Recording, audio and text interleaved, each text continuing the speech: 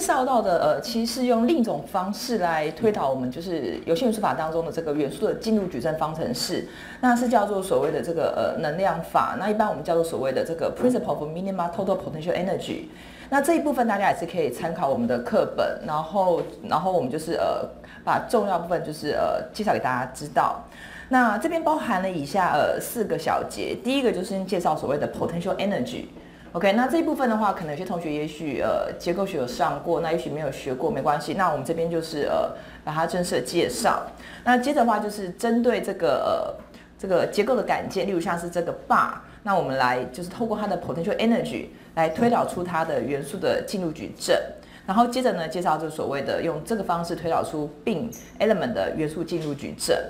那这一部分其实大家可以把它当做是一个复习，因为其实我们前面已经介绍到了所谓的这个呃包含 trust 的 element 的呃进入进入矩阵方程式，其实都学过了。这部分是用另一种方式，那推导给大家看，就是可以得到一模一样结果。所以这边的话就说，若是元素的进入矩阵方程式你还不是很熟，那希望透过另一种方式的介绍，让你们再加深印象。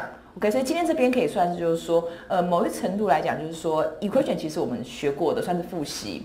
但是因为这个方式可能大家没有接触过，所以就这一部分是新的。好，那这边的话，我们首先介绍就是所谓的这个呃 potential energy 它的一些概念。那像我们前面就是说，从开学到现在为止，我们所学到的就是所有的这种呃结构元素它的进入矩阵方式的推导。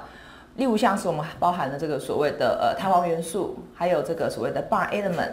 还有 trust、并还有 friend，OK，那这些的话，其实呃，大家回去就是复习的话，发现到就是说，我们之所以能够推出这些元素的进入矩阵方程式，主要都还是根据这个所谓的这个平衡方程式，OK，那我们透过就是说，哎，考虑材料力学当中，就是呃不同结构感件它的力学行为。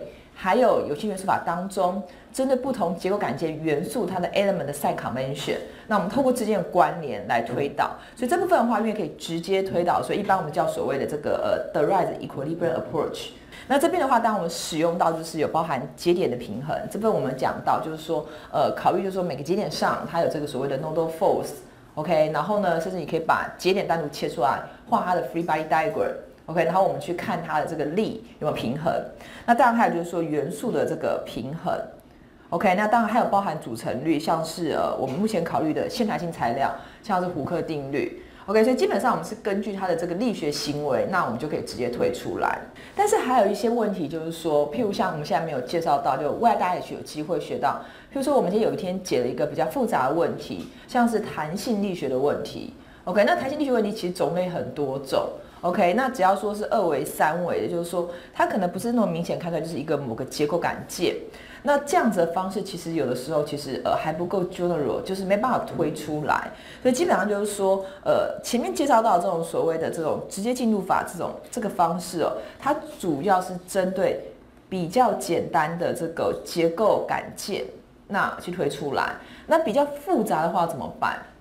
甚至于说，呃，有些元素它，呃，可能是二维、三维的，然后我们要建立是更高阶的，那我们就会想说，那有没有更广义的方式可以来推？OK，所以这边的话就注意到说，我们前面学到其实都是针对这个简单的结构感件，通常对于比较高阶的话，一般也不会这样去做它。OK，那这边的话就是说，呃。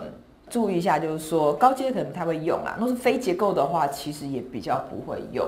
OK，但是因为我们前面教的方式很直观、很简单，就是说透过就是大家之前学过材料力学，那结合就是我们的一些赛卡维权定义，那其实我们就可以把它做连接。那比较复杂的话，通常我们就会呃透过就是能量法来做。那这边最常用的是所谓的 minimum potential energy。那这个方法的话，有时候呃，可能课本会简称叫 MPE。那其实指的就是这个能量法。那这边的话就是说，呃，能量法的好处就是说，它会比较呃 general，就是说，呃，可以适用到更复杂然后更广泛的问题。例如像是弹性力学当中最常遇到，当然就是说 plan stress plan strain problem。OK，所以你就会有对应到的呃 plan stress 或 plan strain element。OK，就说通常我们针对不同问题会选择适当的元素。那这跟我们在结构元素的选择是一样。如果今天给你是一个行架系统问题，你当然就是用行架元素去建立你的 model，你不会说，哎，我就故意要去用一个 spring，对不对？因为它没有出现 spring 这样子的呃感情在里面，所以就是说你针对你的问题，你选择适当的元素。那一般比较复杂的问题，当然就是说呃，跟我们现在学的相对大，就是弹性力学问题。OK，那当然最常用就是 plane stress、plane strain，就是说通常我们会把一些三维问题假设成呃二维的，二维最常见是 plane stress 或 plane strain。OK，那这部分问题的话，就可以通过 mean potential energy 来求解。那还有一个就是说三维的问题，还有一个很常见的类型，譬如说像圆柱体，OK，或者圆锥体，这种基本上它是一个轴对称的问题，通常我们也可以透过这样的方式。OK，那这是所谓的轴对称的元素。那当然还有就是说，再高阶一点的、复杂一点，譬如说，呃，我们今天要建立一个体育馆模型，那屋顶我们可能使用所谓板壳元素，那这边还有所谓的这种 plate bending element，就是 plate element，或是呢 shell element，这种都是比较高阶的，因为它的行为考虑到比较呃比较多。那再当就是说，一般的真的就是比较广义的三维的元素。OK，那三维的话，通常你会说，其实概念上来讲，就是一维、二维的延伸是没有错。但是因为三维的话，你的自由度很多，所以通常就说，你真的在求解的过程中，往往因为它的自由度很多，其实会比较花时间。OK，所以说一般来讲，就是说，真的实物上在做。都是大家就用三软件来做，一般都是能够简化就简化。OK，除非说你真的是呃，最后领导要设计一个 building，最后要出来，当然就是说你可能还是要有一个三维模型来帮你模拟说，哎，也许我们考虑地震力进来，那它的这个结果。关于原则上呢，做研究当中我们会尽量就是把它做简化。OK，那三维的话，因为它就是自由度多的关系，会比较费时。好，那这边的话要注意一下，就是说呃，mean potential energy，那呃，它还是有它适用的一个限制。那这边的话就注意到说，它只适用于线弹性的材料。OK，那你的材料呢，可能是呃非线性的，然后呃就是非弹性的。OK，那这部分的话就要注意到，可能就不适用。OK，所以针对于线弹性的材料，我们可以使用 minimum potential energy。那这个方式其实我们会说它比较广义，就是因为它属于一个变分法。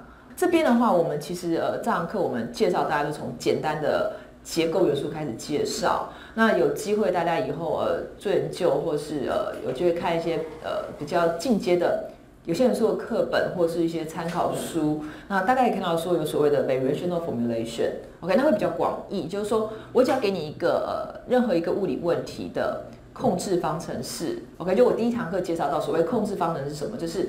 呃，微分方程式配上边界条件，对不对？那这种方式就是说，你可以透过变分法的这个过程，推导出它的 weak form 的这个 formulation，那你就可以用有限法来做求解。那这部分的话，我们呃在这堂课我们会简单介绍到，就是说在稍后会呃就是学期大概最后三分之一时候会介绍所谓双缝 weak form 的关系。那这部分的话。我们主要介绍的还是所谓的这个 strong form 转 weak form 的过程，我们并没有正式介绍 variational formulation。那这份属于比较呃进阶一点，那有机会的话或有兴趣的话，大家可以参考一些呃高阶的这种课本。OK，那基本上就是说，它是属于呃变法的一种。OK，就是说，它只要使用定义一个函数，然后去做这样的过程，其实你能够推或是推出来的问题哦，其实很多。那的求解的话，就是说问题就不会限制在说就结构感界，基本上只要任何一个物理现象的问题，你有它的方程式，你都有办法透过有限数法来求解。好，那这边的话，我们首先要介绍一个所谓的这个呃名词，我们叫所谓的 functional。那什么是 functional？那方选大家知道，方选就是一般的函数嘛，对不对？就是说我今天可能给你一个函数 f，然后可能是 function of x，那我说它是函数。那 functional 是什么？functional 简单来讲就是它是函数的函数，就说今天我有个函数，然后我肯定要拍好了，OK，它是某一个函数的函数，OK，那这边我们看一下怎么去讲它。简单来讲就是说，呃。若是只是单纯的，就是说有一个方选是方选 of x y，我们是叫所谓的函数，就 f of x，f of x y。那今天 f of x y 可能是另外一个函数的函数，OK？那那个另外一个函数就叫做 functional。所以这边它的定义就是说，它是一个另外一个函数的所谓的函数。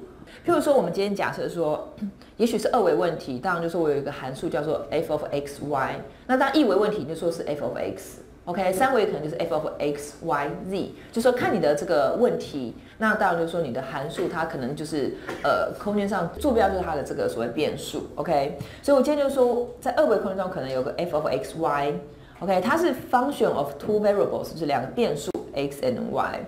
那我今天假设说，哎，我有另外一个函数哦，这个函数呢，它就是由这个 f 来组成。OK，那这个函数我就要说派，那基本上呢，就是说这个派就可以说是 a function of the function f。OK，那这时候呢，因为 f 是 function of x y，派又是 function of f，所以基本上就是说 f 可以用 x y 表示，那表示呢，这个派呢，它也可以用 x y 来表示。OK，所以这边的话，这个派我们叫所谓的 functional。OK，那这边呢，这边这样讲其实算是比较简单，就是说，呃，真的比较复杂的问题，大家有可能就是说。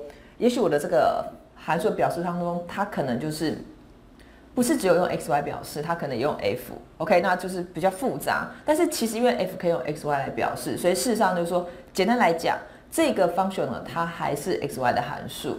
那当然就是说，可能你真的展开它的式子，它式子可能就是说有一部分你可以用 f 来表示，会比较简化。但是基本上它就是 x y 的函数。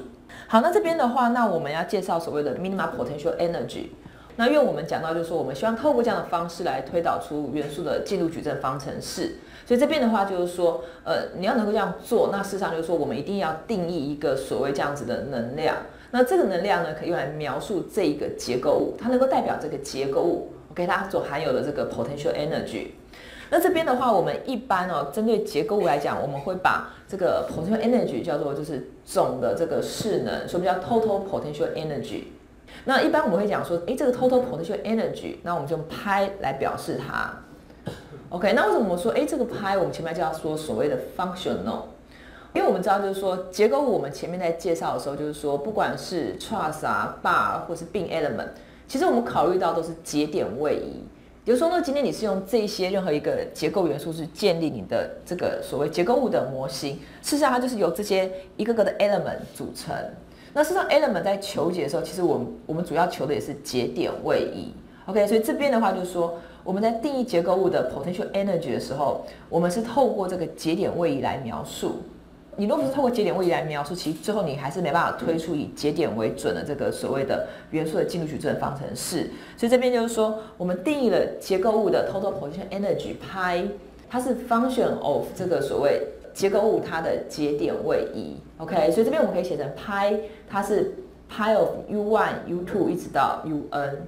那你说，哎，这为什么是 u n？就是说看你的结构物它的总自由度有几个，OK，也就是说你今天说有，嗯，假设说是一维问题最简单了，那我就是说，哎，有 n 个节点，那当然每个节点自由度都是一，对不对？那你有 n 个节点就是有 u one u two u 三一直到 u n。好，那这边的话就注意到，就是我们是以节点位移来表示它，就是 nodal displacement。那这边 n 的话就是和你的自由度有关，所以这边稍微注意一下我们的符号。所以接下来我们就是针对这个不同的 element，我们去定义它的这个 total potential energy。那这边符号就稍微知道，就是拍我们代表是总的势能，那 u i 就是 i 可能一到 n 代表是节点位移，符号都跟之前是一样的。好，那这边的话就是说，呃，对于我们一般结构的问题的话，那当然就是说，结构物的总的这个呃势能，我们一般就是用拍来表示。那拍呢，它是节点位移的函数。OK，那当然这函数就是说，呃，到里面含有几个这个所谓节点位移，根据你的问题的自由度来决决定。那甚至说，我们现在要推导元素的这个进度矩阵方式，就是根据每个元素它的自由度。那这边要注意到，就是说，为什么我们把这个呃这个方法叫做 minimum potential energy？因为基本上我们是透过对这个 functional 去做一个呃 minimization，就是对它做一个最小化。我们设法取到它一个在平衡状态的状态这个呃方程式。OK，因为你定了一个所谓的 function，就是呃是一个代表一个 energy，那你可以告诉我说，这个 energy 在什么状态下它是稳定的？如果它是不稳的话，那基本上，呃，你没办法建立说这个结构物的平衡方程式，因为其实我们主要关心的还是说结构物在一个平衡状态下，OK，那我们可能也许施加外力，那我们想要求出它的位移，所以基本上能量我们也是建立在它处于平衡的状态，只是问题在这边说，那能量的话，你你可以描述它，可是你怎么知道说在哪一个时刻你的能量是处于平衡状态？所以这边的话就是说，我们其实用到概念，其实呃，还是待会介绍给大家看，就会知道说，其实还是跟我们呃之前在学的数学是有关的。就是说我今天有个函数，我要求出它的极值，基本上还是透过对它的这个所谓的可能变数做微分。OK，你可能就设这个呃方选派，对它呃可能对它的这个函数里面微分，可能让它等于零。OK，那这个时候的话就会取到极值，要么就是最大，要么最小。OK，我们透过这样的方式来找出这个所谓的这个平衡时候的这个能量方程式。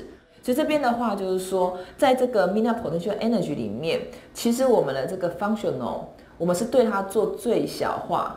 OK，那最小化当然就是说，因为派是 function of ui，所以我们大概就是对所谓的 ui 去做这个微分的动作。所以就是我们是对这个呃 ui 去做这个所谓的最小化。OK，那这样我们就可以得到所谓的平衡方程式。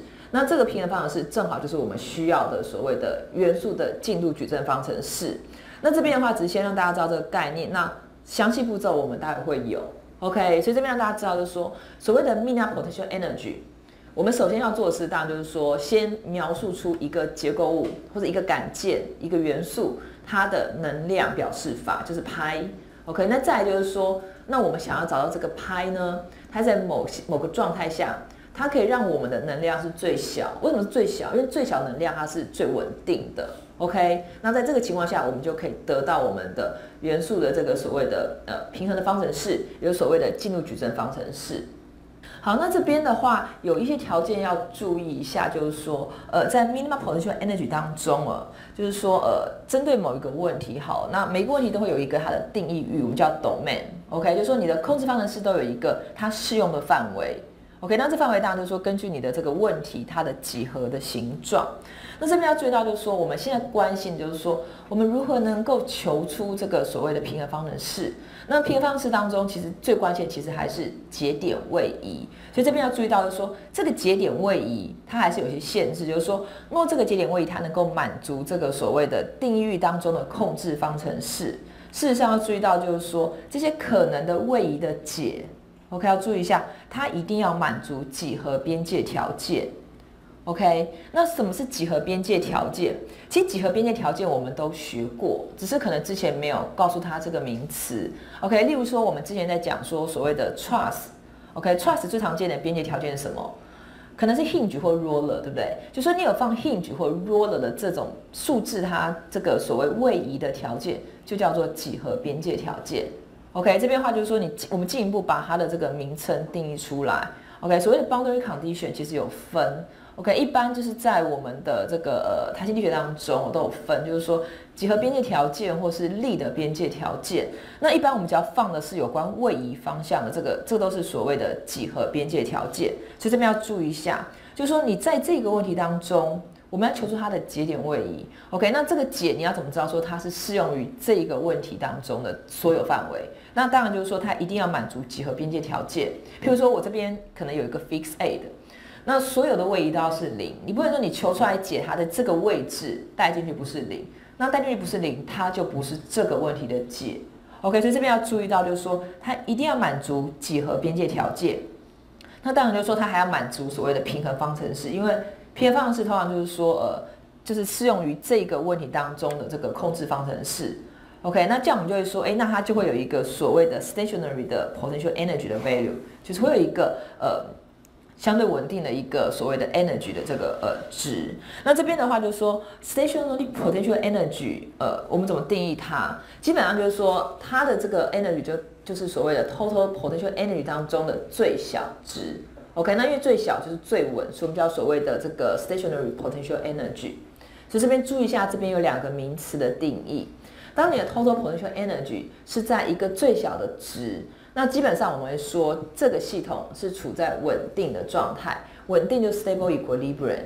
OK，它能量多了，可能就是说，哎，它可能就会开始会有不稳定的情形出现。所以，就当它的能量是在最小的时候，系统会最稳定。那这个时候的能量叫做所谓的 stationary potential energy。那这边要注意到，就是说，呃，若是今天你有机会去求解一个新的问题，要注意到，就是说你在找它解的过程中。推方程式的过程中注意到，就是说你的解一定要满足几何边界条件。OK，而且呢还要满足你的控制方程式，那这样的话你就有机会得到所谓的这个最小的能量，那推出一个平衡方程式。所以这边稍微注意一下，几何边界条件就是指的是跟位移有关的边界条件。OK，那有些同学说，哎，那若是譬如说有些时候我们放什么集中载重，对不对？均布载重这种的话，都一般属于力的边界条件。OK，那呃一般就是可能会叫所谓的这个呃 natural boundary condition。OK，我们就不是叫不是叫 for，什么叫 natural boundary condition？就是所谓的力的边界条件。那若是说大家有机会去看一些呃 paper，就是期刊论文的话。那比较数学的名词就是说，呃，对于这个几何边界条件，另外一个名词我们会叫所谓 Dirichlet 边呃边界条件，OK，Dirichlet boundary condition。那力的边界条件会叫 Newman boundary condition，这是呃文献上或是期刊上比较常用的。那在我们工程上可能比较习惯就用就是用力的边界条件，几何边界条件。那力就是跟你施加的外力有关，那甚至是 traction 就是沿着呃。这个所谓的物体表面施加的这个所谓 traction force，OK，那若是跟这个所谓位移有关的，一般叫做几何边界条件。好，那这边的话就是说，呃，minimum potential energy，之所以叫 minima，就是说，呃，在这个状态下它的能量会有最小值，然后呢，你的系统会处在平衡状态，有时候能够确保你的方程式是属于 stable equilibrium。那这边，呃，若是你要用数学式来表达这样的一个平衡状态，怎么表示它？因为我们前面定义了一个 function of 派，对不对？那拍是 function of 呃，可能 nodal displacement。OK，那今天就说你要如何让你的拍是稳定的，然后进而推出你的方程式。OK，那这边我提到就是说，呃，其实只要你一旦提到数学，其实这些方式就是跟大家之前学过是一样。就我今天有个函数，我要找极值，一的最大值，一的最小值。对不对？所以这个方式其实一样，就是说你透过对这个函数去做微分，所以基本上就是说在平衡的时候呢，通常就是说你对这个函数去微分，它会等于零，那就是它就会有一个平衡的状态。OK，那当然就是说你对这个函数微分，并且让它等于零，并不能保证一定是最大或最小值，有时候要看你的函数的，譬如说它的它的实际上的这个呃长的这个曲线的样子决定，所以就注意到说。它这个所谓的这个呃 necessary condition 的话，只是告诉你说，你可以得到可能是局部的最大或最小值。OK，那你说你要找到最小值，因为我们要找到平衡啊，因为我们说能量是最小，这都还需要再进一步有些条件来帮我们做判断。所以这边的话就是说，那你要考虑到就是真的是 stable equilibrium，就是说你要找到最小值。OK，那另外一个条件就是说，对拍的二次微分它要大于零。OK，那你记得所谓的这个呃二次函数，基本上就是说你要能够得到是凹向上的行为，就是二次的曲线要向上，这样的话它基本上就会有一个最小值。你若是凹向下，那你会得到最大值。所以基本上实际才是要根据你的函数长的样子，OK，那你才能去找。那一般而言，这边可能大家在我印象中这这部分我在国中的时候学过这个东西，就是说函数找极值，基本上就是说一般你是对它微分一次等于零。OK，你可以找到极大或极小。进一步判断，通常就是说，我们说曲线是凹向上或凹向下，当然就是说看你的这个呃二次曲线、三次曲线，可能前面的这个正负号有关。OK，那通常就是说，你以数学式来表示，就是二次微分，当它大于零的话，OK，那你就可以确保说你会得到一个极值。OK，那尤其是最小值，所以这边要注意一下。你想要知道说这个点呢，它是 minima 或者是 maxima 的话，就是要透过这个 second derivative 的这个呃。求职的过程去找，OK，那当然就是说，呃，我们稍后会有呃实际应用到我们结构的感件的上的例子。那这边还希望大家就是说，呃，稍微就是呃回想一下以前学过的数学的概念，把它做一个连接。好，那这边的话有一张图，我觉得呃清楚的说明所谓的这个平衡的状态。OK，那这边的话就是说，一般来讲，我们说所谓的呃 equilibrium 其实是有三种状态的 equilibrium。OK，那基本上代表的是它的这个稳定性。所以这边的话，我们这个 stability 我们用以下三张图来表示。OK，那第一种情况当然就是说，哎，我今天可能说，哎，有一个小小的山丘，我上面放了一颗球，你觉得它稳定吗？因为这是示意图，当说我这个球就画在它的顶端。但你可以想到，我今天有个小山丘，我放放了一个球在上面，会怎样？请注意到，就是说，你若是这个是一个这样子的一个小山丘哦，其实你放个球在上面，你稍微去推一下，这球可能不是往左就往右跑掉了。OK，这边是你应该很容易理解到，就是说我今天就是放在上面，我去推一下，它它就跑走，它不会停在那边。OK，所以这状态你可以想象说，它其实并不是那么稳定。那如果今天我不是深丘，我是一个凹洞呢？凹洞呢，就是说，哎，可能路面有个积水，有个凹洞，那我把球丢下去，它就是在里面卡住，不会动。基本上，即便你去推它，对不对？你可以往左往右推，那是因为那个这一个凹洞它有一个最低点。所以你的球可能就在上面动来动去，它最后还是会停在底下，所以它相对是蛮稳定的。那另一个状态，若是我今天是一个平面的路呢，我放了一颗球会怎样？其实你去推它的话，它可能就动一下，动一下，这样不要很大的力，它在任何一个位置，它都可以是平衡的状态。所以这边的话，根据这三种情况，那我们就是把它们这个平衡状态定给大家看。就是说，若是一个小山丘，其实它是所谓的 unstable 不稳定，因为你只要不管往左往右，你就轻轻的推一点力，球就跑掉，它就跑掉，它就不可能再爬上来。OK，所以叫 unstable。那若是一个凹洞的话呢？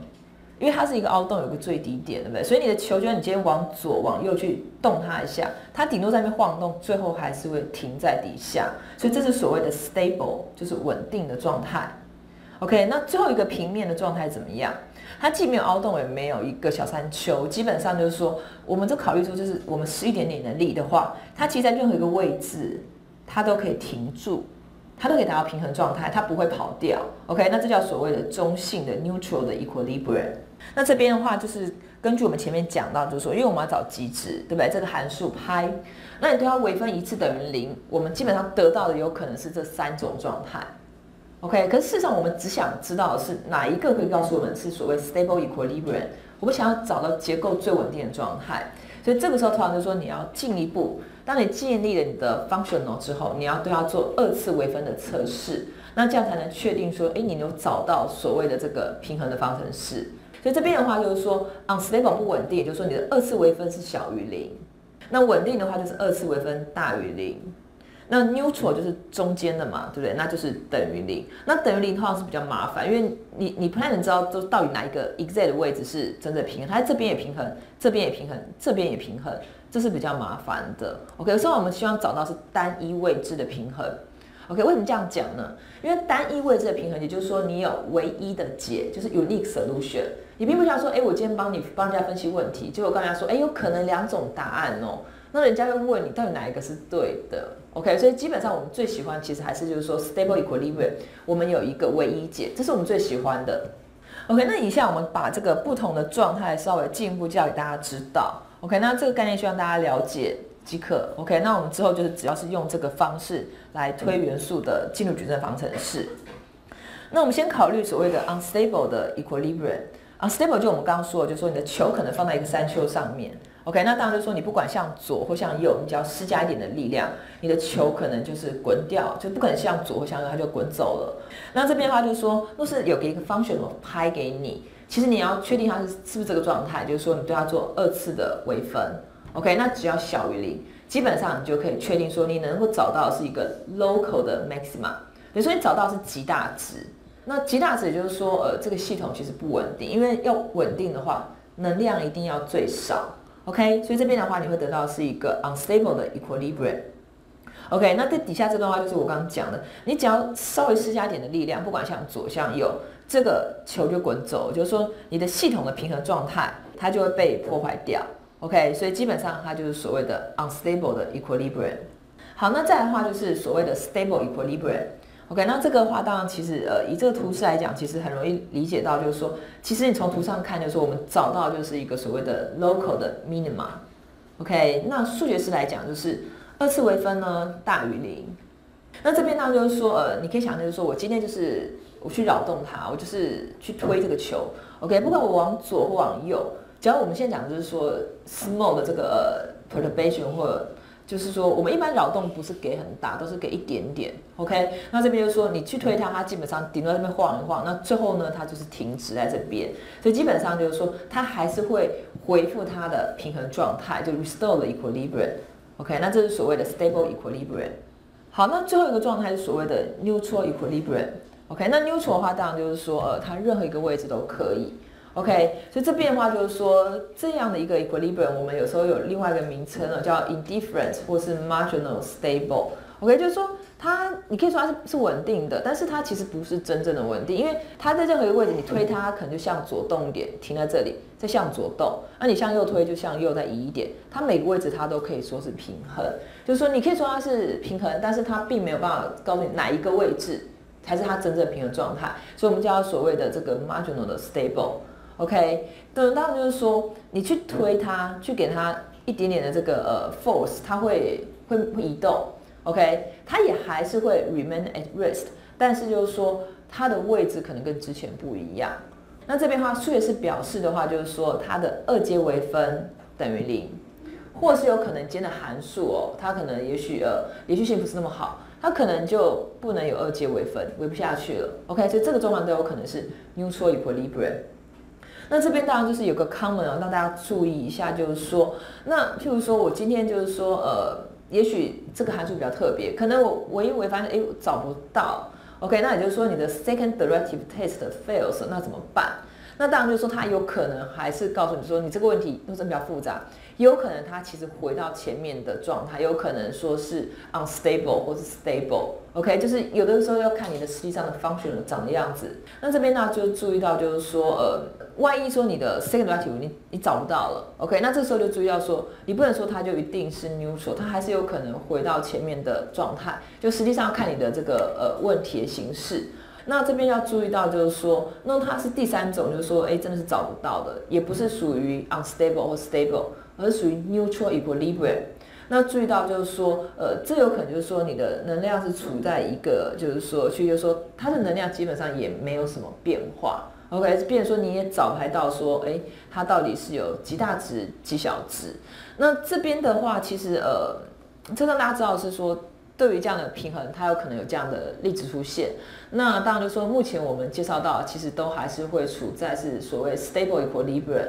那这边就是让大家知道，就是说，也许有机会之后，大家大家有机会就是呃解一些比较复杂的问题，甚至一个函数的话，可能稍微注意。但是目前来讲，我们结构物来讲，就是说，基本上我们解的话，因为我们结构物都一定有边界条件，所以基本上你不太会出现说有有一个所谓无穷多解或是两个解的问题。就是说，我们基本上还是可以找出一个所谓的这个 minimum potential energy，那也可以找出说这个结构物它的唯一解。所以基本上就是说，呃，我们最常用的还是这一个状态。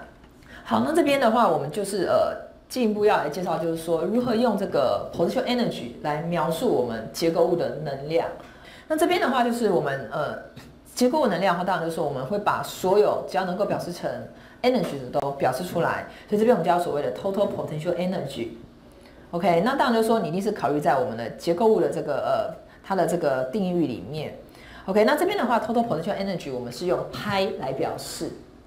那它有两个部分组成，第一个部分是所谓的由可能就是说，哎，我今天施加外力之后，结构物产生变形。那变形的话，就是说它这个变形它是用来抵抗外力，让它达到平衡。也就是说，它可能有 internal 的 force 或者 internal 的 stress strain 产生。所以这部分由这个所谓 internal force 或是 stress 产生的这个应变，我们叫所谓的 potential energy。OK，那这边我们是用大写的 U 来表示。那另一个部分的话，就是由外力造成的。OK，由 external force 造成的变形。那这部分的话，我们就是叫所谓的这个外力造成的这个呃 energy。OK，那我们用 W 来表示。那这边 U 要注意一下，就是说，一般可能大家比较常听到名称是叫 elastic strain energy，也就是说，我今天施加外力，然后呢，我的结构物可能就是因为这外力嘛，它产生变形。那变形之后，它会产生应力，还有所谓的内力。那这样的应力、内力，如果你是画切一下来，就是你去把这个呃物体切一下、切开，去画 free body diagram，你会发现到你会有所谓的内力。内力和外力做平衡，那这部分内力造成的这个变形，就叫所谓的这个呃 elastic strain energy，也就所谓的 U。OK，所以这部分的话，其实是呃我们之前其实呃有用这样的概念，只是可能没有特别描述它。OK，就是我们之前在求在应用力学当中求说，哎，画 free body diagram，对不对？你切开来之后，那就有内力产生，这一部分的力量产生，然后的能量储存在这个物体当中，就叫所谓的 elastic strain energy。OK，那当然就是说，哎，相对于这个呃外力造成的变形储存的能量，外力造成的产生的能量，就叫所谓的这个呃功，一般我们会叫功啊，就是 work，OK，就所谓的 potential energy due to external force，OK，叫做 W。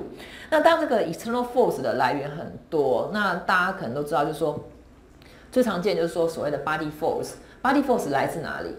因为譬如说我们地球重力，对不对？这是来自重力造成的这个外力，所以 body force 它是外力。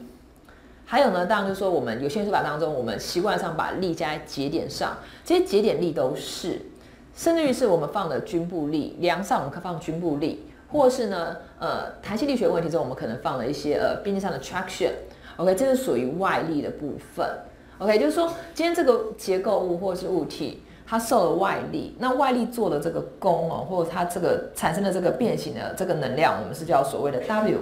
那造成结构物变形，那结构物当然本身因为这个变形，它会产生这个应力应变。那应力应变储存的能量就叫所谓 elastic strain energy，就叫做 U。那这两部分的能量总和就是 total potential energy。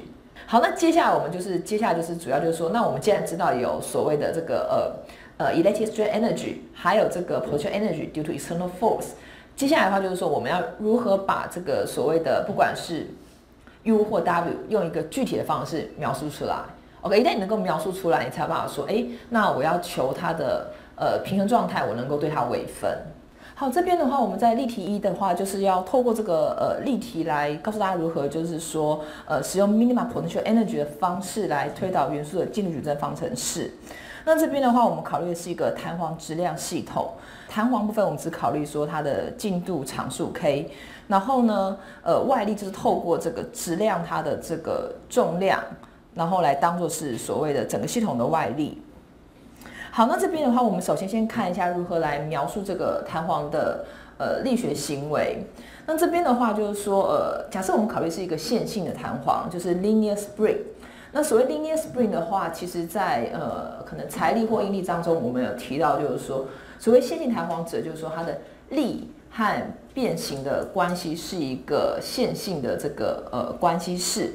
那例如像这边有一张图示意图，就是说假设它的这个伸长量叫做 x，就是水平的轴。那基本上垂直轴叫做力，就是 force，我们用 F 代表。那么呢，这个力和变形的关系就是一条斜直线，就是这边的这条斜直线。OK，那力和变形是一个线性的关系，就叫线性弹簧。那它的这个关系式就是 F 是 Kx，OK，K 是弹簧的呃这个进度的常数，那 x 是它的变形量，F 就是它的外力。好，那这边的话，那对于弹簧的话，它有这样子的这个线性的变形的这个呃关系式。那如何来描述它的这个所谓的 potential energy？就是说我今天去外力施加，对不对？然后弹簧会伸长，那伸长就产生变形。那对这弹簧而言，就是说它的这个变形会产生所谓的这个内部的呃弹性势能，就叫所谓的 U。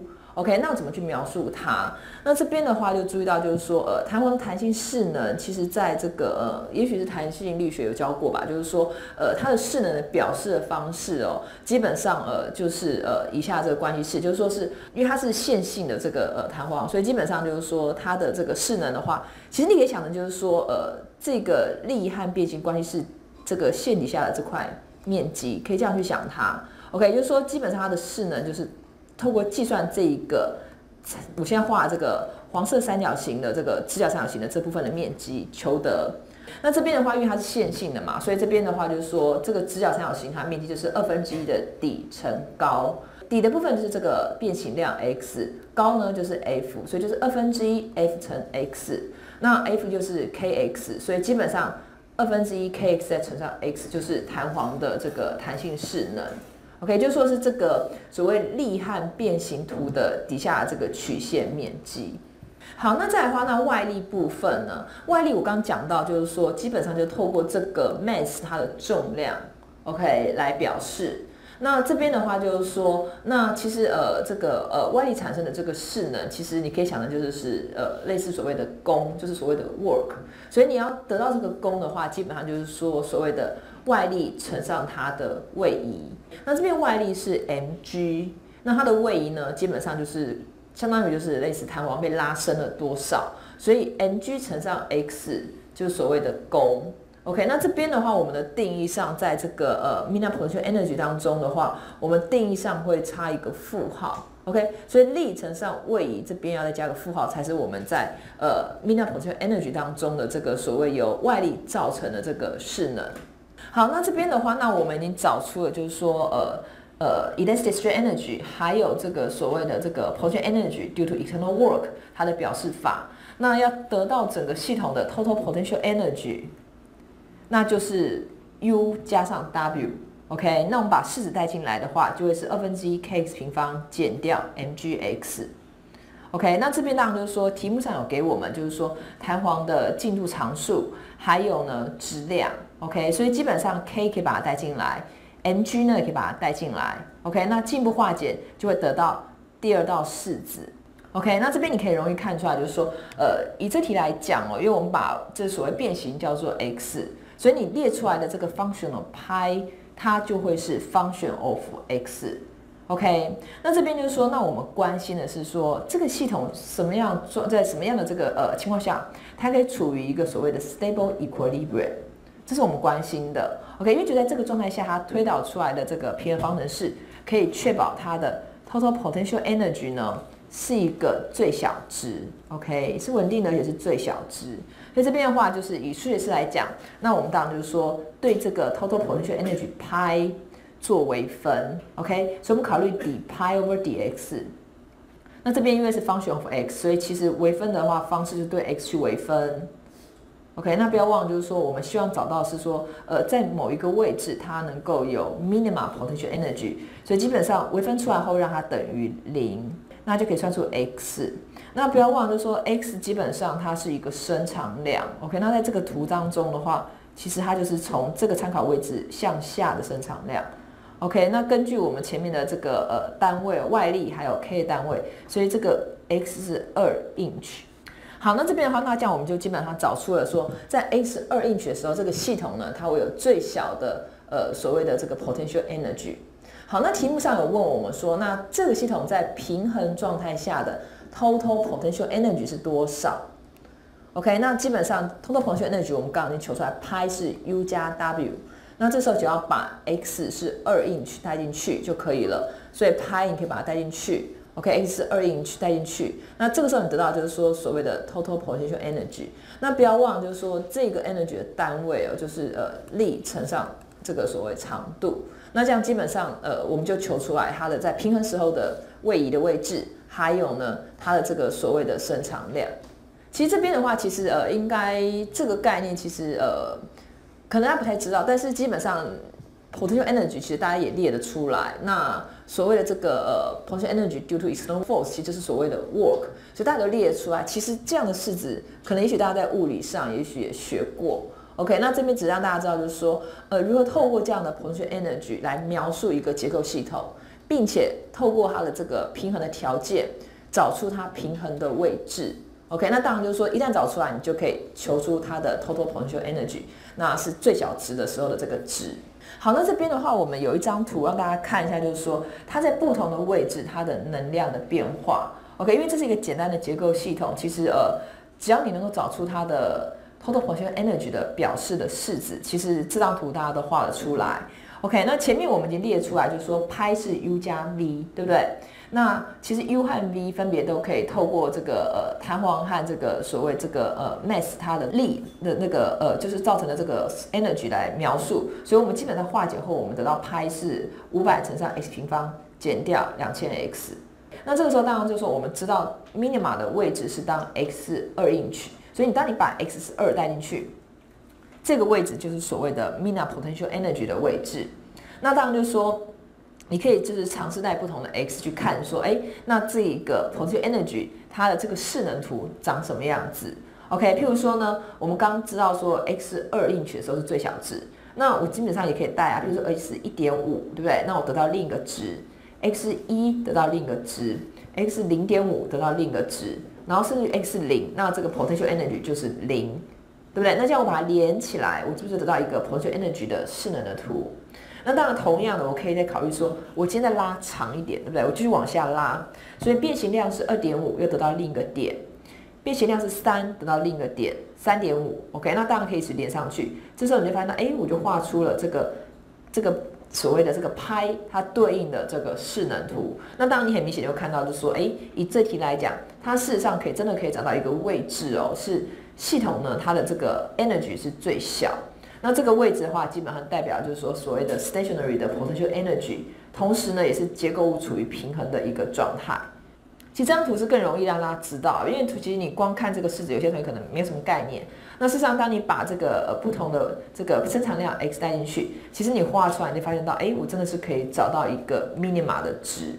那当然就是还可以来检核一下。我们刚前面说到有三种所谓的呃。Equilibrium 的状态，那事实上都是你在进一步检查它的二次微分的这个值，你会发现到，哎，它大于零，大于零表示说它有一个所谓的 stable equilibrium 状态，而且是这个 energy 是 minima，OK，所以这边的话，你可以通过这个方程式来检核。好，那九点二节的话，那我们就是要利用这个呃 potential energy 的方式来推导这个 bar element 它的这个进度矩阵的方程式。那这边我们考虑一个呃简单的这个呃 bar 的这个 structure，OK？那我们假设说它有一端是固定端，OK？那我们在另一端 free a 的我们施加一个轴向的外力。那我们看左上左边这张图，这张图其实它是一个三维的示意图，其实呃画成平面的就可以了。就是说左边呢它是 fixed 的，右边呢我施加了一个外力，OK？那我假设这个杆件的长度是 L。OK，那我今天想要推导出它的这个所谓的这个 potential energy，那我是考虑就是对它切，就是呃切一小块下来，考虑局部的一个 block，然后它的平衡状态。OK，所以这边的话，假设说呃中间取了一个长度叫 delta x，然后我就把它切下来。OK，那切下来这张图我把它画在右边。那这边的话切的时候注意到就是说我们是沿着轴向的方式取的长度是 delta x。那根据坐标轴的话，那当然就是说，呃，假设 x 向右，y 向上，z 的话就是 auto pan direction。所以这个 unit 这个呃 block 水平的长度是 delta x，y 方向是 delta y，那 z 方向的这个厚度就是 delta z，就是这个小小 block。好，那现在就是说，那因为我有施加外力，对不对？那当我去切一小块下来，其实基本上就是说，呃，它的 free body diagram 上应该要能够呈现出由外力。所造成的这个所谓的呃内部变形需要来平衡的这个内力。好，那这边的话，这个内力部分呢，我们这边有画出来，就是呃这边两个箭头就是左右相等的这个力，它就是沿着轴向方向的力，它把它用 stress 来描述。有时候作用在这个面上，因为这个面啊，右边这个面。它面的是轴的方向，x 方向，所以它产生的其实是轴向的这个所谓的这个呃 normal stress 正向的应力，叫 sigma x，OK。但是因为我们知道说，呃，当你切 free body 带滚其实你考虑其实力平衡，所以这个应力呢，它要乘上这一个面积才会得到它的力。那这个面呢是 delta y 乘 delta z，所以 sigma x 乘上 delta y delta z。就是作用在这个面上的这个所谓的力，其实一般我们可能会写就是 F，就是一个 force，OK。那这边的话，因为我们要推它，就是呃它的 strain energy 其实跟它的这个呃应力有关，就是说因为你外力施加，内部产生应力和应变，有应变才会变形嘛。那有应变当然就是根据组成率会有应力，所以这边我们用应力来描述它。OK，那这个力的话，它因为是面 x 方向，就是说，应该说它的这个呃这个面的法向量是 x 方向，所以这个应力它是呃沿着 x 方向的。OK，sigma x。那这个面积的话，因为这个力作用在的面上是 delta y 乘 delta z，所以这就是所谓的这个作用在这个面上的内力。好，那这边的话就是说，我们考虑了某一个呃一小部分的一个 element，OK，它的 length 是 delta x。好，那这边呢，因为我们有施加外力，它当然会产生应变。OK，那它的应变呢，对于这个小小的这个 differential 的这个 element delta x，它的应变量叫做 d epsilon x。D 你可以想象是代表一个 differential，就是一个微小的一个变形量。OK，那这边这个 d epsilon x 表示就是说，沿着 delta x 方向的一个 strain 的这个变形量。OK，那当然就是说应变的话，大家知道说它的定义其实是呃单位长度的变形，所以其应变它是无因次的单位。那那我想要知道说，哎，那沿着这个呃轴向方向，它的伸长量是多少？那事实上就是 dxn x，我再乘上 delta x，那这就是得到说这个 element delta x 它的变形量，OK，因为它边长是 delta x，它的应变量是 dxn x，所以 delta x 乘上 d epsilon x 就会是它的这个所谓这个 differential element 的它的 displacement。好，那现在就是我们要来写出它的是所谓的这个呃 strain energy，OK，因为我们最终目的是要用 potential energy 的方式来推出元素的进入矩阵方程式，所以现在的话我们要描述它的内部的就是 elastic strain energy，那有时候我们叫所谓 internal strain energy。OK，那这边的话就是说，因为我描述的是一个 differential 的这个呃 element，所以基本上它的 internal strain energy，我们用 dU 来描述它。U 是 strain energy，dU 的话表示是这个 differential element 它的这个呃 strain energy。OK，那这边的话注意到就是说，呃，strain energy 的定义其实它呃，也就是说是你的力要乘上你的变形量。那刚我讲到就是说，因为我们的外力是 P 施加在沿着轴力的方向。OK，所以当你去切 free body diagon 的时候，其实你会发现到说，在这个 delta y 的裂面上有所谓的这个力，是 sigma x 乘上 delta y delta z，这是说在 x 方向的力。那它的变形呢？变形就我刚刚讲的，它的应变量是 d m s n x。OK，但是应变是没有单位的，所以你要算出来是它真正的伸长量或是变形量，所以 d m s n x 要乘上 delta x。OK，那这样的话就变成说是力乘上变形，就伸长量。OK，那下一个等号我们就是把它做一个化简，就是把 sigma x 提出来，然后呢 delta x、delta y、delta z 放在一起。OK，那为什么要这样做？因为我们知道说这个 element 它的这个 volume 它的体积是 delta x 乘上 delta y 乘上 delta z。OK，所以我们这样放的话会比较简单。那最后呢才是它的所谓的这个应变。OK，那这边的话我们可以把 delta x 乘 delta y 乘 delta z 用 dv 来表示，就代表说这个 differential element 它的 volume。V 的话基本上就是说，呃，你可以想的就是说，呃，change in volume of the element。所以这边的话，我们就列出它的 internal strain energy。好，那这边的话，你注意到就是说，因为我们是考虑切一小块来看，所以我们都说这是一个 differential 的这个 amount，就是说它是一小部分的。那么我考虑的是。Internal strain energy，我们是要求出整个 bar 的，OK？因为我们不是只看一小部分呐，所以这个时候就是说我们要对这个呃 differential 的这个 du 去做积分，所以基本上当你对这个 du 做积分，你就会得到 u，OK？就是所谓的 internal strain energy for the entire bar。那这边的话，当然就是你去做积分的话，其实你就是对这个体积做积分，所以 sigma x 乘上 d epsilon x dv，那 dv 的部分你就是对它整个的 volume 做积分，就说你的长度都是 x 零到 l 就做这个积分，从零到 l，然后 y 是它的高度，z 的话就是它的厚度。那这边还要记得，就不要忘了，就是说，因为这个呃表示式里面还有 d epsilon x，所以应变量部分我们要都要记起来。所以 du 的话，其实就是说，呃，得到的是所谓的这个呃 change in internal strain energy of the element。那那你对它做积分后，整个 volume 积分，得到的就是整个把它的呃 internal strain energy。好，那这边的话就是说，呃，我们还是假设就是说，呃，是一个线弹性材料，因为我们提到说 minimal potential energy 它只适用在线弹性的材料。OK，所以这边的话就是说，呃，我们这使用的是胡克定律。OK sigma 和 epsilon 的关系是一个线性的表示式，那 E 是 Young's modulus。OK，好，那这边的话，那还要注意到就是说，我们现在列出的是 internal strain energy，可是还有所谓的 potential energy due to external force。OK，所以这边的话，我们要考虑就是说 external force 的情况。那这边这张图的话，描述的是一个呃，就是说呃最 general 的情况，就是说我画出它的 free body diagram。那我考虑最复杂的情况，就是说可能它有所谓的这个呃节点力，OK，然后还有 traction force，甚至于是沿着轴向的这个所谓的物体力 body force。就这边是一个比较广义，就是说，哎，所有可能的力我都考虑进来。那如果今天你的题目比较简单，某个力没有你就拿掉就好。所以这边的话，你看一下，就是说 body force，我们根据课本的话是用大写的 XB 表示。OK，它是作用在物体上，那一般都画物体的中心。OK，所以这边我们有一个 body force，然后呢，还有呢，就是所谓的呃 surface force，有时候我们习惯叫 surface traction。OK，那是大写的 Tx。那这个 surface traction 一般就是作用在这个物体表面上。OK，所以这边我们一般都是用这个，它也是均部的，所以我们一般就是用这个所谓的一个个小箭号表示，就是说沿着表面上的力。OK，那叫做 Tx。还有呢，就是说，哎，当然就是说，呃，因为我们最后求的是节点位移，所以我们有可能有节点力的施加，所以在左右两端有节点力，我们叫 Fi。节点一的话叫 F one，节点二叫 F two。那我们都是向右为正，去这样子表述它。OK。好，那这样的话，我们就可以把它的这个所谓的呃，strain energy due to external force 把它给描述出来。那这边的话，注意到就是说，这个呃，due to external force 的 strain energy 是用大写 W 表示。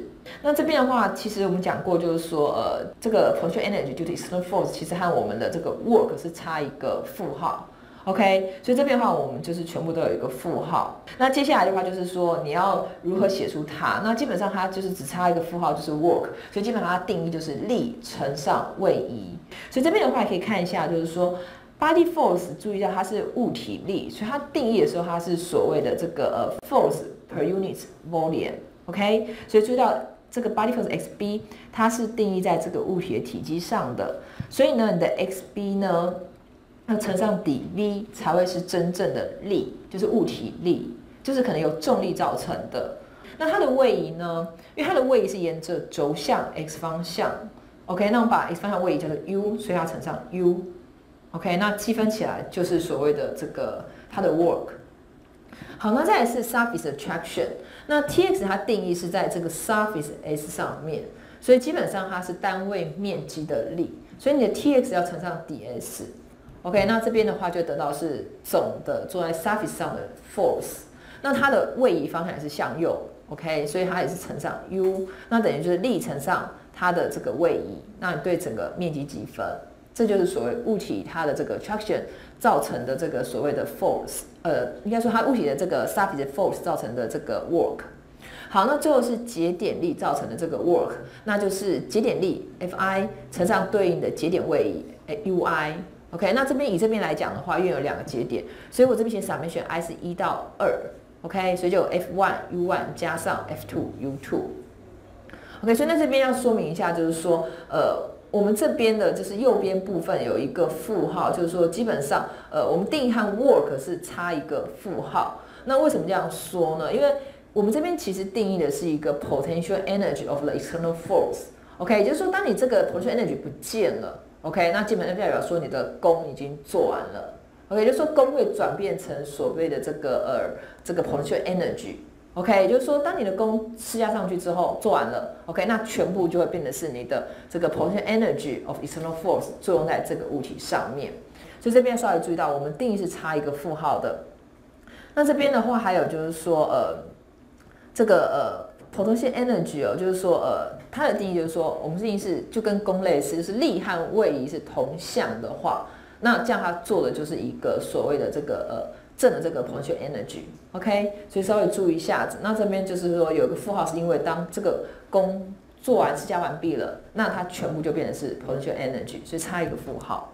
好，那这边的话回到呃我们一开始的这个 total potential energy 的定义，我们找出它的 elastic strain energy，就 internal strain energy。也找出了所谓的这个呃 potential energy of external force，那两个加总就会得到 total potential energy。我们再进一步推之后，我们来定义一下，就是说呃我们在有限元素法当中如何去定义我们的 bar 的 side convention。好，那这边的话就是说呃我们也是考虑一个两个节点的 bar，OK，那左端是节点一，右端是节点二，OK，那一样我们都是呃。这个 bar 大家基本上就是一个线，就是一个一维的问题，所以我们的沿的轴向是 x 轴，那它的位移呢就叫做 u。那节点一、节点二分别有节点位移和节点力，叫做 f one、u one。节点二是 f two、u two。那它会有材料性质嘛？E、A、L，OK，A 是断面积，L 是长度，那 E 的话就是杨氏系数。好，那这边的话，其实就是说你的问题当然可以要复杂可以很复杂，要简单可以很简单。OK，那这边的话，我们就是说，哎，好，那我们考虑一个比较简单的情况，那我们忽略掉前面的这个所谓 body force，还有 surface traction，就是前面的 xb，OK，body force，还有 surface traction tx，我们忽略掉。那这样等于说我们就只有节点力 f one 和 f two。好，那这样我们就可以把我们的这个呃 internal strain energy，还有 strain energy due to external force 把它写出来。OK，那前面的 strain energy 有注意到 U，OK，那我们刚前面化解后，其实可以写成是 sigma s 乘上 epsilon x 在对 volume 做积分。那注意，因为它线性的，其实还有一个二分之一在这边。那这边的话，呃，针对的题目，因为我们考虑，假如说是定断面，也就是说 y 和 z 方向它的这个断面断面积每一段都是一模一样的，所以其实你的 volume 的体积分可以把它简化成是断面积 a 乘上 dx，OK，因为 a 就代表了是积分沿着所谓的 y 方向 z 方向，所以我们就可以把 dv 写成 a dx。那这样一写的话，其实你的 dx 积分就只有从零到 l，OK？那这边的话就是 sigma x 乘上 epsilon x，OK？那这样基本上这个描述，也就是说，针对这个一维的问题，其实你的整个问题积分方向也是一维的，比较一致。好，那再来就是说，呃，你的 strain energy due to external force 的部分，那我讲到我们这边是忽略掉 body force 还有 subtraction，所以你就节点力，所以就是 F1 U1 F2 U2。OK，那这边因为我们的呃 strain energy 定义和 work 差个负号，所以这边有一个负号，负号。那两个呢，把它相加，就是说所谓的 total potential energy，那这是针对这整个 entire 的 bar。OK，所以我们的派是 U 加 W，OK，那就会是呃 strain energy internal strain energy 加上就是说由外力造成的 strain energy。好，其实到这边你可以看一下，就是说，呃，事实上我们的拍也是用节点位移来描述的。你看到有 U one、U two 出来了，要稍微注意一下。好，那这边的话，再来就是说，那我们要，因为我前面还有一个问题是，外力部分已经是用节点力来表示，节点位移表示，可是第一个项次注意到，我们还是写成 sigma x 乘上 epsilon x，对不对？可是注意到我们的 function 的最终是描述成派是派 of U one、U two。可是这第一项呢，是一个所谓的 internal strain energy，它是个应力应变表示。那这时候就是你要对 u one u two 为分，这一项你变成不能直接去做。OK，所以这边的话注意一下，就是说，事实上 sigma x 和 epsilon x 它又可以描述成 function of uiu two 所以这边就是为什么派是 functional。好，那接下来我们就设法把这个 internal strain energy 的部分用节点位移来描述。那这边其实就是要回到我们前面介绍到，对于这个所谓的呃 linear 的 bar element，考虑两个节点，它的位移呢，可以有两端点的节点位移，透过形状函数来做近似，所以我们的 u 可以写成形状函数的这个 matrix 乘上节点位移向量。就是 U 是所谓的 N D，那这部分如果大家不太熟，要回去复习，OK？所以 U 是 N D，N 包含了形状函数 N one N two，那 D 是节点位移，包含了 U one U two。那以我们这个线性的这个所谓 bar element，就是两个节点来讲，它的这个形状函数 N one N two 都会是一个 linear function，对不对？所以可以看到说它是一个线性的函数。好，那这边的话是位移，可是我们前面描述的 internal strain energy 是用 sigma x 和 epsilon x 描述，所以接下来就是说我们要把位移和应变的关系式做一个连接，OK？所以这边是 strain displacement 的 relation。那 strain 的定义我们知道说。Normal strain 的定义其实就是底 u over dx，就是单位长度的变形。那当你这样描述的话，其实就很明显可以看到说，因为 u 是呃 n d 有用到节点位移描述，所以 e m s o n 是底 u over dx，它就可以透过这个关系式和节点位移做连接。那这边的话，我们以广义的写法，OK，就说呃，不光只是针对所谓一维的问题，以后针对于二维、三维都可以，所以我们这边底下的话，我们这边呃参考课本，我们用矩阵的方式描述它。OK，所以我们这边把呢 epsilon x 当做是一个应变的这个样的一个矩阵量，好不好？然后这样子的话，我们就可以把这个位移也带进来。那 u 是 n d，那注意到 d 是节点位移，节点位移的话，基本上你求解出来它都会是一个常数的值，所以它不是 function of x，所以你微分的时候，事实上只对缺方选做微分。OK，所以底 u over dx 变成是底 n over dx，d 就放在旁边。那微分后因为是线性的函数，就会变常数。OK，那这是节点的位移。那这边的话就会是所谓定义的这个薛方选微分后的 matrix，我们叫做 B。所以这边的话就是说，我们透过 u 是 n d，还有 strain displacement 的 relation，那这时候我们可以把应变 s n x 用所谓的节点位移 d 来描述。好，那再来应力的部分呢？因为我们前面的 internal strain energy 有 sigma x 乘上 epsilon x，我们这边除以 epsilon x，还有 sigma，所以我们透过虎克定律，就材料组成率，OK，把 sigma 跟这个所谓应变做连接。那 sigma 跟应变做连接，那因为应变我们刚刚提到，它可以跟节点位移做连接，OK，所以这样的话，透过这个式子，其实应力和节点位移就连在一起了。所以这边的话，sigma x 是我们的应力。那一般哦，就是说，呃，我们都是广义在有限元素法，你要写成一个比较 general 的这个呃 procedure 的话，通常就是我们用矩阵描述它。所以一样的，我们把这个 sigma x 写成是一个矩阵的这个呃方式。那我们把这个就是说有材料组成率的这个就是亚斯马九十的部分哦，用一个 D matrix 表示它。那这样的话，这个 C 码就是 D 乘上 epsilon x。那 epsilon x 刚这边已经讲到它是 BD，所以我把它带进来，所以 sigma 就是 D epsilon x，就是 D 乘上大写 D 乘上 B 还小写的 d。那这个 D matrix 以这个线性的这个呃一维的问题来讲，以这个一维的问题来讲。它的这个 component 就只有一，OK，所以事实上就是说，它不见得要用矩阵来描述。这边这样做是因为，呃，就是比较广义的写法，就是说之后针对二维、三维问题，可以用一样的符号描述它。好，那到这边的话，其实我们已经把 sigma 和 epsilon 都跟节点位移连在一起了。好，那再来我们就把它带进去，OK。那刚才这边的话，呃，我们的这个 total potential energy。第一个项次就是所谓 sigma 乘上 epsilon dx，对不对？那现在就是我们把它用矩阵的方式描述它。OK，那因为 sigma 和 epsilon 两个都是所谓的这个呃呃就是 vector，所以一定就是说要一个是 transpose 才会是一个横的乘上一个直的。所以这边的话就是应力乘上应变。那在节点位移，它和这个所谓的这个它的这个呃。节点力造成的这个所谓的 strain energy，我们可以把它写成就是说 D transpose f D 的话就包含节点位 U1、U2，那 F 呢就包含了节点力 F1、F2。OK，那用矩阵的方式写就比较简化它。好，那接下来的话我们就是把 sigma x 带进来。OK，是刚才推出来是大写的 D matrix 乘上 BD，那 strain 呢是 BD，那这边的话。再来的话就只是做一个化简哦。那这边的话，其实我们一开始在第二堂课介绍到，就是说矩阵的运算，OK，就是说我有一串的 matrix 相乘，然后又 transpose，那展开后是什么？OK，所以这边就用到那道关系式，那就是 D transpose B transpose 大写 D transpose 乘上 BD。所以这部分的话，我们一开始复习的时候有介绍到，OK，线性代数的部分。好，那再来的话，这个就是 B D。那剩下部分的话，我们就是把它积分积起来。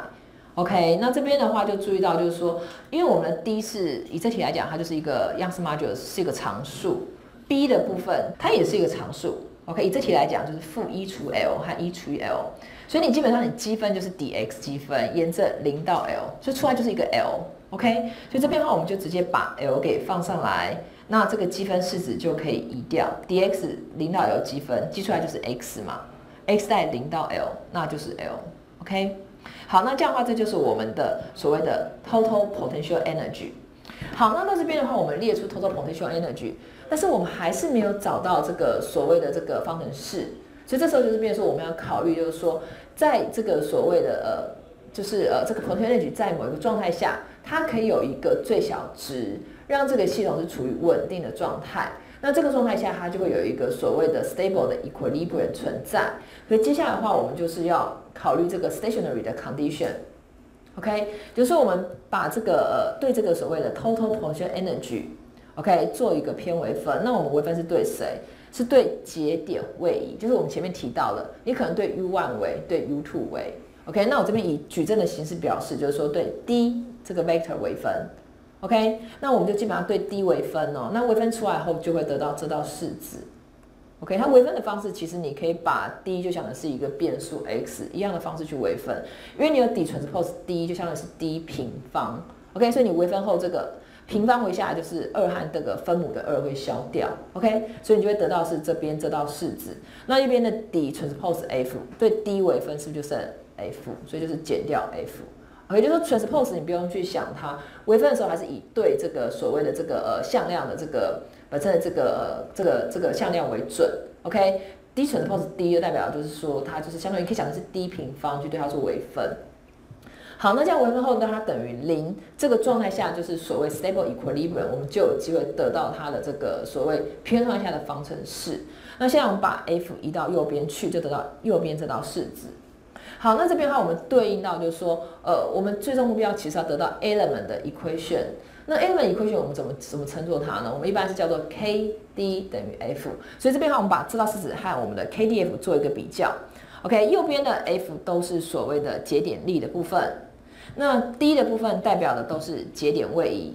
那这样一对照之下，你就发现到前面的 a l 乘上 b transpose d b，这就是所谓的我们的 k matrix。你这样一对照之下，你就知道了。那再的话，当然就是说，那到底它的 k 是多少？我们这时候就回过头来，回到前面一页，我们刚刚有定义所谓 b matrix、d matrix，我们把它带进来。OK，所以 a l 是常数，那 d 呢？以这题来讲，它是 1D 的问题，所以 d matrix 只有包含一个一这个 component。OK，所以就可以把它提出来是常数。那 b 呢？刚定义是负一除 l，还有一除以 l，对不对？所以我们就把它展开。然后你把这个矩阵的运算做出来，你会得到一个二乘二的 k 矩阵。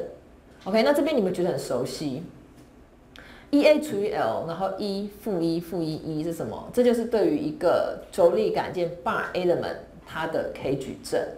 OK，那如果你要用它来描述弹簧也可以啊，你把 e a 除以 l 定义成小写的 k，那这样子的 k 负 k 负 k k 是不是就是弹簧的进入矩阵？所以这边你会发现到，就是说，透过这样的方式，我们也可以推出元素的进度矩阵。OK，那这边的话，主要就是说，呃，你要知道如何去描述，就是说它的 internal strain energy，还有 nodal force 造成的这个所谓的这个 strain energy。